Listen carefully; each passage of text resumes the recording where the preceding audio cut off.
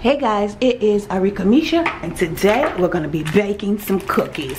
It's been a while since I baked some cookies on the channel and y'all know what season it is. It is fall, so yeah, anyway, y'all know I bake cookies. It ain't got to be any kind of season. I'm to bake some cookies. Alright, so today we have the Pillsbury limited edition pumpkin cookie dough with cream cheese flavored chunks. Y'all know that sound good. It sound good to me in the store, that's why I picked it up. And y'all know Publix had them BOGO, want to get one. That's about the only way I'm picking them up. It's got to be BOGO nowadays. So I pray all is well with y'all. We are dealing with hurricane season here in Florida. Y'all pray for us. Yeah. Anyway, let's get into baking these cookies. Uh, I read the directions already. All right, uh, heat the oven to 350. I've got my oven preheated. Uh, y'all know, place on the pan. Y'all know my cookie sheets. Yeah, I know my cookie sheets don't look all fancy, but these the best cookie sheets to cookie cookies on. Because they cook them just right and they be good. So, don't talk about my cooking sheets. Anyway, so, um, yeah, place on the sheet. Y'all know what we got to do. 14 to 18 minutes. Blah, blah, blah. Anyway, so, I'll probably set my timer uh, for 14 minutes or something. I always do the smallest time and then I just check on them. So, let's see what these look see what these looking like. Smells good. Like I hope it's not like, I mean it says pumpkin cookie dough, but I hope it ain't too much pumpkin. Maybe it'll be like a, oh, oh Lord. Okay. Maybe, maybe it will be. Let me smell it. Hold on, y'all. Oh, Lord. It smells like sweet potato pie. And I knew that's how it was going to be. Sweet potato pie. Now, these are the large ones. So, of course, there's 12 in a pack. So I'm gonna go ahead and get these on my cookie sheet.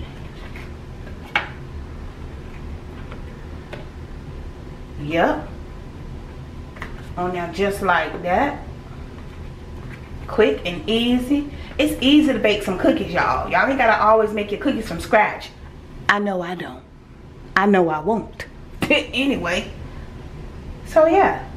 It's easy to bake some cookies for your kids, for your family, your friends, for yourself. easy. Look at that. All right, so we got that on there like that. Make sure we got them spread out good enough. That's good enough. That's perfect. Look at that. Perfect. And I got all my cookie sheets out here. So I'm just gonna do two at a time in the stove.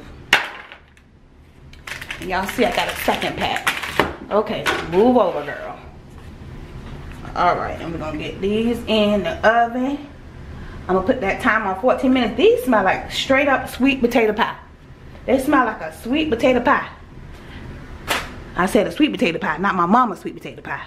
A sweet potato pie. Yeah. Somebody's sweet potato. Y'all know i'm on old school. You know them sweet potato pies. Them old school sweet potato pies. That's my mom.